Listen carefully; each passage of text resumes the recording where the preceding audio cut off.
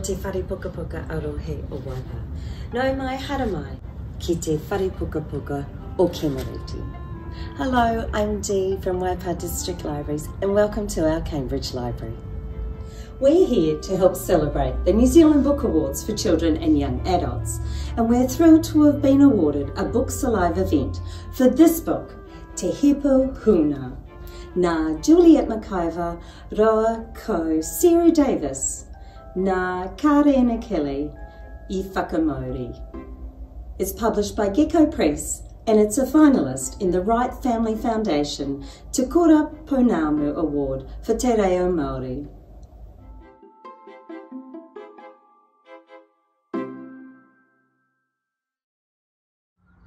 No Mai Haramai, Ki Te Hipo Huna, starring Heidi as Don,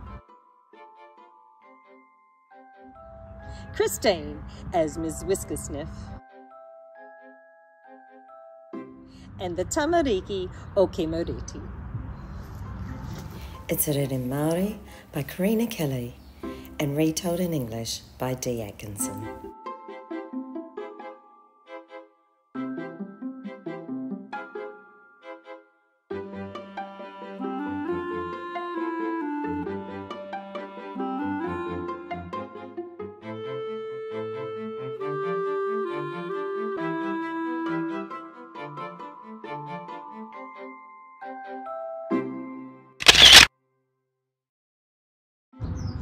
The children in Ms. Whiskersniff's class are really excited. They're off to see Don safari. Don's the gamekeeper, and he claims to have every animal in the land.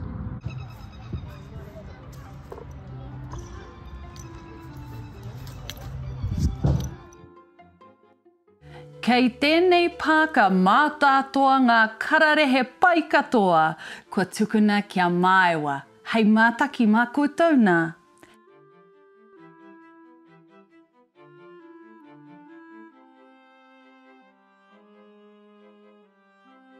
One young man pipes up saying, It's a lie. He's pointing to the sign saying, There's no hippopotamus up there. Te katena, e te pai, he hipo hipo kare kau.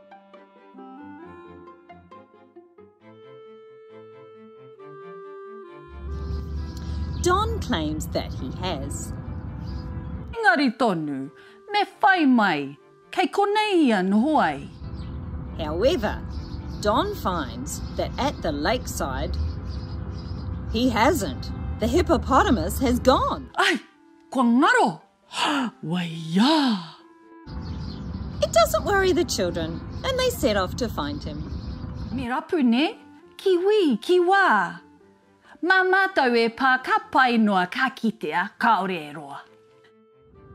The children tell Mrs. Whiskersniff that they're the best hippopotamus hunters in town.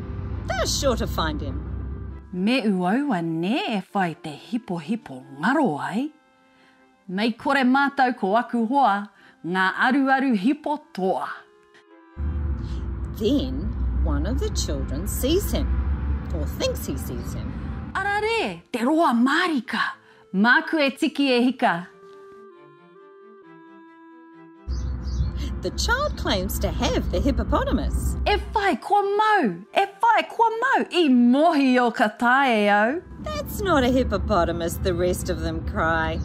It's a giraffe. The quietly spoken Liam thinks he sees him. Ke kauri, hara mai.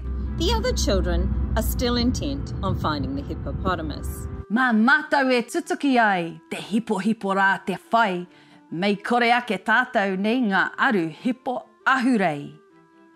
Arā pea ia, kei te papa, kei te pai māku e rapa.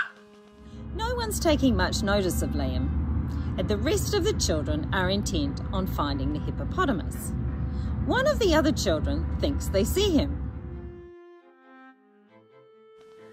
E whai kua mau, e whai kua mau, i mohi o ka tae au.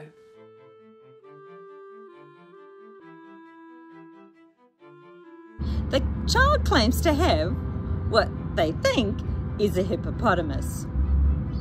That's not a hippopotamus, the other children cry. It's a warthog. The quietly spoken Liam is in the background, saying he sees the hippopotamus, but no one's really taking any notice. Ara te hipo ne, kei muri. Hoa ke kauri, ture ture. The rest of the children are still hunting high and low. One of the little girls says she'll chase him with her pointy stick. Me uaua e te pou ka kitea he hipo hou. Mei kore ake tātou mā ngā tino o te takiwā. Ara, ui, he tino tere. Me tiro pēr, mau e mere. That animal turns out to be a python. E whai kua mau, e whai kua mau, e mohi o ka tae au. That's not a hippopotamus, the children cry. Ara, ke ne, kei te taha? Hoa ke kauri e tō waha. Liam is still trying to get the teacher's attention. And with more gusto, the other children are still out searching. They then see a stripy tail. Me uaua ne e whai te hipo hipo huna ai. Mei kore ake tātou ne ngā kaiaru au tae ake. Ara e whai me hopu rā mātana wairo taeka. But it's a skunk. Pooh! Whai kua mau, e whai kua i mohi o ka tae. That's not a hippopotamus, the children cry. Ara ne kei runga rā, hoa ke tamariki mā. Liam still thinks he sees the hippo, but still no one's taking any note. Mā wai e whakarite mai te tahi mahere papai. Mai kore ake aku hoa, ngā toki o te ao katoa. Leela spotted a fin and dives into the tank. But has she found the hippopotamus? Ara e whai te taramutu. Mata kina taku rutu. E whai kua mau, e whai kua mau. E mohi o ka tae au. It turns out to be a manatee.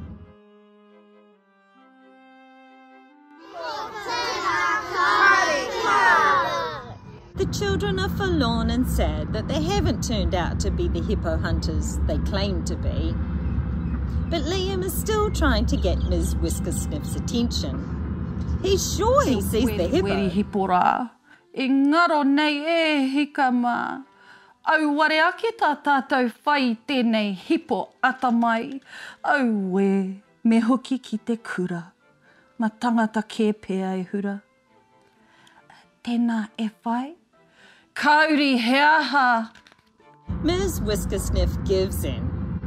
Has Liam turned out to be the best hippo hunter ever?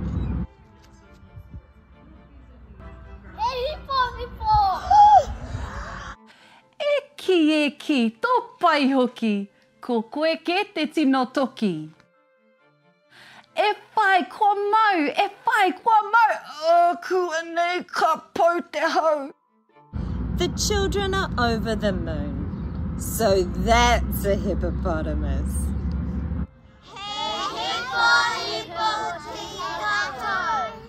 And that's the end of the story.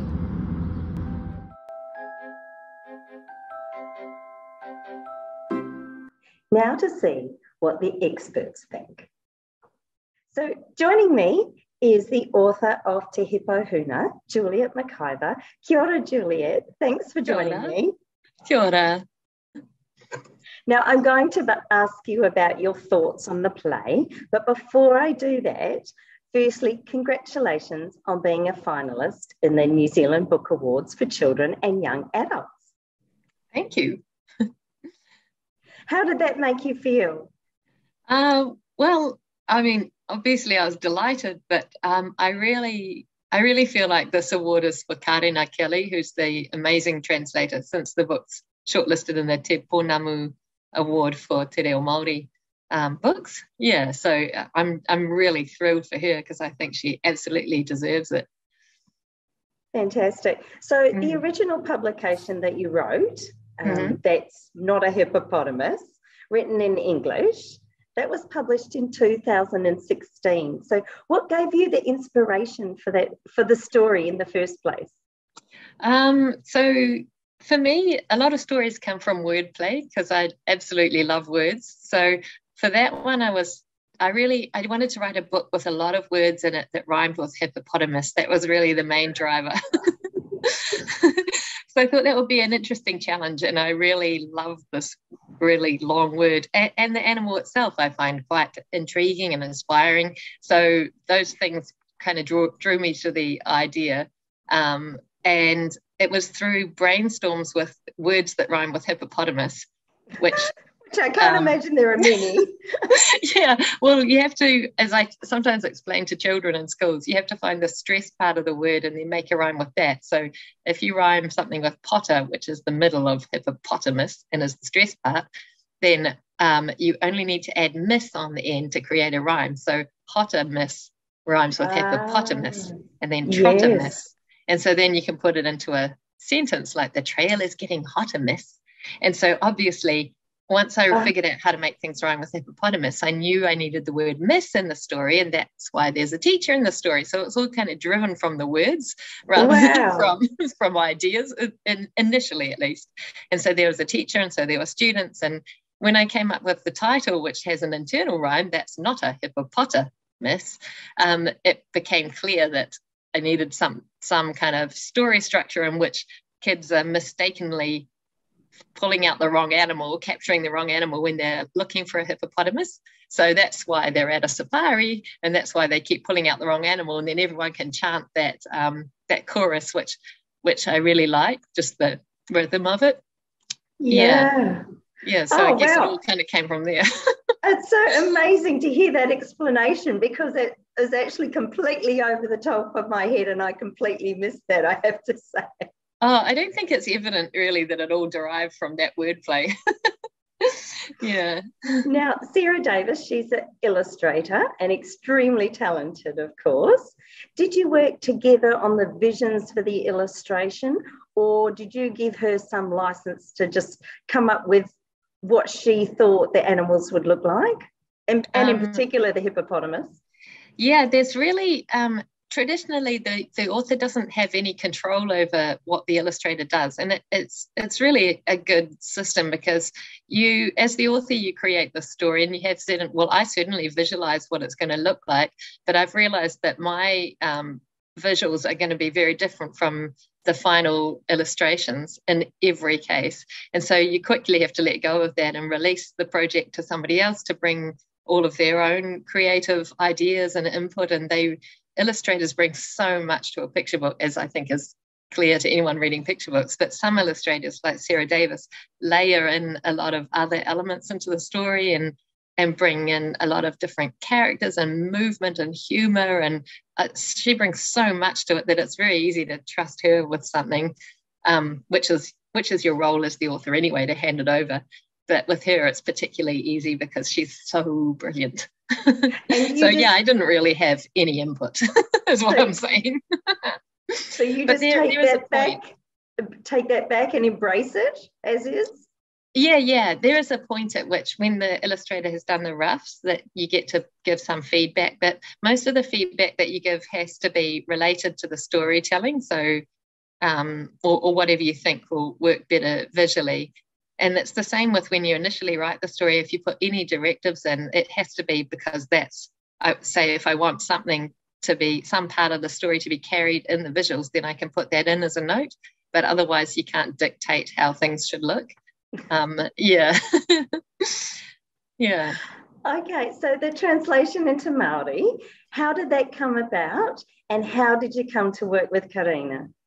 Um, so Karina got in touch with me because she had at, at the time I think her little boy was four and obviously she speaks Te Reo fluently and she said um, I want this book in Te Reo Māori for my little boy but also Karen is um, you know she has visions of what books are really good for the Maori speaking community and she really wanted this one to be available to everyone in Te Reo. And so she had already translated it from rhyming English into rhyming Maori, which is like kind wow. of an impossible feat. And so she got in touch and said, Can I run this by you and can we meet up? And so we met up in a cafe because I was delighted that somebody had translated it into Te Reo. I was amazed to hear that it was in rhyme. Um, and we spent about two hours just going over all the nuances of it together, which was tremendous fun. Um, but I think her skill is just phenomenal. I'm just really impressed that she's able to do that. Wow, that's mm. incredible. And some of the words, or in particular the animal names, didn't really translate. There were some issues with some of them, weren't there? Yeah, I only vaguely remember that. I, I'm thinking, I guess like there would be some animal names that would obviously there's a lot of animal names that you wouldn't traditionally have in Te Reo Māori, but you don't mm. traditionally have them in English either because we didn't have you know, most of them come from African languages because they're African animals or from Asian, various Asian languages that you end up transliterating into English at some point in history. And I guess it's the same that they just get transliterated into Te Reo Māori, or, or else people come up with creative ideas that um, that kind of evoke that animal somehow in, in Te Reo Māori. But I think um, in terms of the translation, the ability to to work out the essence of a, a rhyming verse and then find the a matching kind of rhythm and rhyme and nuance of meaning in another language. I think that's really where the tremendous skill comes in. Absolutely. Yeah. Mm. Absolutely. So, um, when we got the opportunity to submit um, an event for Books Alive, I of course mm. waited with bated breath to see who some of the finalists were going to be. And I was absolutely thrilled to see your book because immediately I had a vision in my mind. Um, maybe I'm a bit like the illustrator, you hand over the words and someone else does something with it. Now, mm. I could picture a play in my mind you've now seen it. Mm-hmm. um, and it's also obviously been aired before we're, we're coming to air here. Um, let us know what you thought. so, um, is the play like um, a play in film format, or are you going to turn it into a stage play as well, or is that oh. is that? yeah, no, we're, we're, keeping it small, You're but keeping it um, as the you know, film. Like, Weta Workshop comes yeah. comes by and wants us to make it into a play, um, a big production. I'm sure between us we could maybe sort if the price is right. oh, it was just so cute. The kids were so cute. It was delightful. Yeah, and it was great that you used Karina's um, recording of the Te Reo Māori version because obviously she is brilliant at reading as well. Absolutely. Um, yeah, so that gave it that like authenticity. And yes. um, and I, I liked the way you superimposed pictures from the book. I think that worked really well. Yeah. Yeah. I, yeah. I, um, yeah, we couldn't get a hippopotamus. Um, we put the word out, but we couldn't get a hippopotamus. We managed to get a few of the other um, animals, as you will have seen. Um, right. Which yeah. is, it's amazing, you know, and I, as much as we don't like the power of Facebook, or lots of us don't like social media, the power of Facebook can be completely amazing when you're either looking for things that you might not think are out there. But mm. um, one particular lady answered the call with all these very large stuffed animals that were her yeah, daughters, perfect. or are oh, her daughters. And yeah. her daughter is now in her teenage, late teenage years.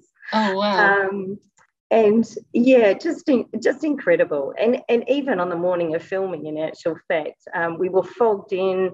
We had some families not come. We put the word out on social media, and we had some other children answer the call. So I oh, really wow. have to commend our community here in the Waipa for uh, mm. lending us a hand. yeah, yeah, yeah, yeah. That's so cool. so yeah. look, being a finalist for the New Zealand Book Awards, what does that do, or what has that already done for Te Hipo Huna? Oh, I guess it's um, increased visibility is probably the biggest thing, really. Yeah, uh, which is fantastic. Um, yeah, so it's a really big promotional thing, isn't it, to have your book shortlisted? So yeah, so that's fantastic for the book. Yeah. Yeah. And what does it do for the English version as well? I don't really know. I'm hoping it helps. I imagine it would do because, you know, as soon as it came out, I was fishing for the, you know, the English version as well. Oh, just, cool. you know, Yeah. because I can't speak Te Reo um, or read Te Reo either. Um, so, yeah, I think there'll be other people doing the same. And, and I'm actually hoping that through our play, we'll be able to get people to understand the nuances of, of both, you know, um, what they can see and what they can hear. Mm, I- yeah. I've certainly learnt a little bit of today of having to, you know, go go through the scenes with the children. So um, Yeah, that's great. yeah, it's Yeah, a really, as you say, cool. it's a really great opportunity as well for you know, children to learn. Mm, yeah, yeah, yeah. Yeah, and I think you, you did a good job of the, um, interspersing the te reo with the um, English so that it was kind of accessible to people who don't yet speak te reo Māori. Yeah, that's right. Yeah. Okay, well, look, um, congratulations again on yeah, the book. thank you. Yeah. And um, look, we certainly wish you all the very best for the awards night. Yeah, I hope Karina wins. I think she deserves it. I think she's amazing. Fantastic. Thanks for joining us, Juliette. Thank you. Ka kite. Ka kite anō.